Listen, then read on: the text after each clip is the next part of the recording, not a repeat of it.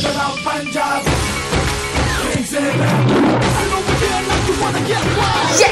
पंजाब जीत गई।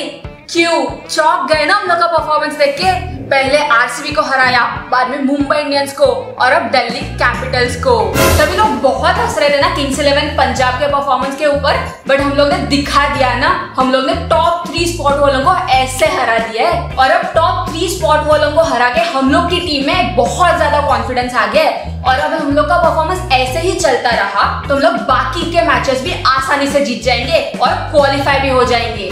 क्वालिफाई हो जाएँगे, उधर तक तो ठीक है, पर फाइनल्स तो दिल्ली कैपिटल से खेलेगी। इतने सालों में तो कभी फाइनल्स नहीं पहुँचे।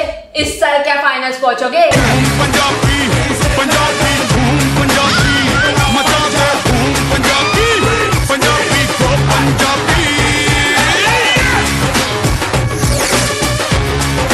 kick, kick, kick, kick the bass, yeah.